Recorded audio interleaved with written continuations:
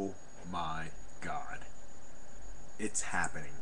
I reported before about NASA finally admitting Nibiru is real and they did it some other way, I forgot. But now they leaked more classified information. They're hiding it though. You gotta decipher it. You gotta you gotta think about it.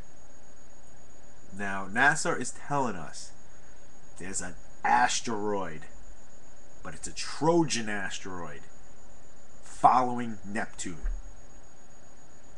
Dude, this has to be it. That's Nibiru. It's a Trojan, like the Trojan horse. It's inside this asteroid. It's hiding there, and it's gonna spring out and surprise us when we least expect it. Guys, this is it. This is the news all us Nibiru believers needed. I'm telling you, NASA finally fucking told us. Look, alright, this is what they said. Let's break it down. A Trojan asteroid. When did they ever started calling asteroids Trojans?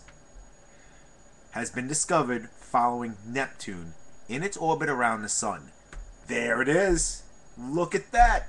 Everybody believed Nibiru was hiding behind the sun or around the sun or south of the sun.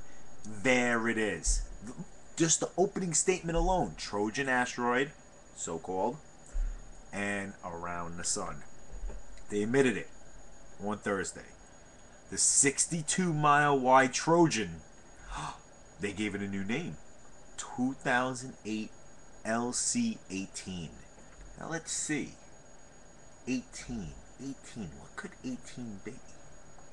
Maybe it's a way of saying December 21st, 2012. But we got to break the code. We have somebody get on that. We got to break the code. 2008 LC 18 means I'm telling you, I know it does.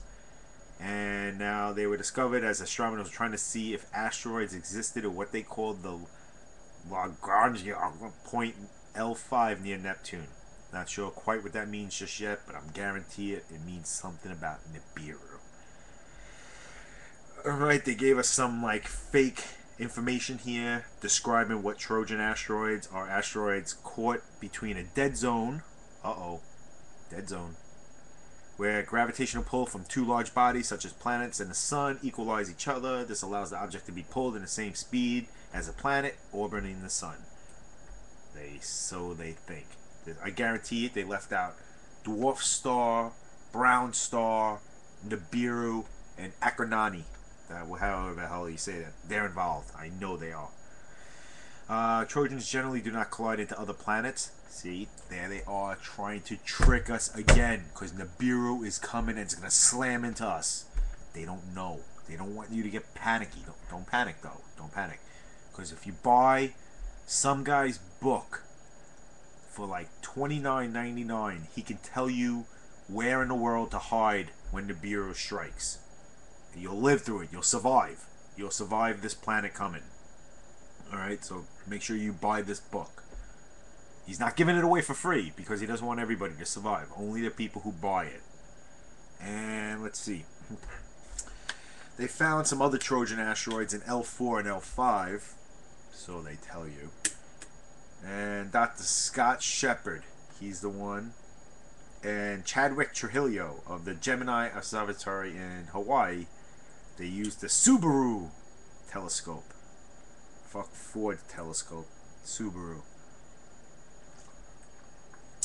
Now they're trying to tell us that there's 200,000 Trojan asteroids hanging out out there. Motherfuckers. They're lying. There's only one, and its name is Nibiru. Oh, that's that, guys. Study, be smart, buy that book for $29.95, and you can survive when this Trojan horse asteroid opens up and the Nibiru comes out. Good luck, guys.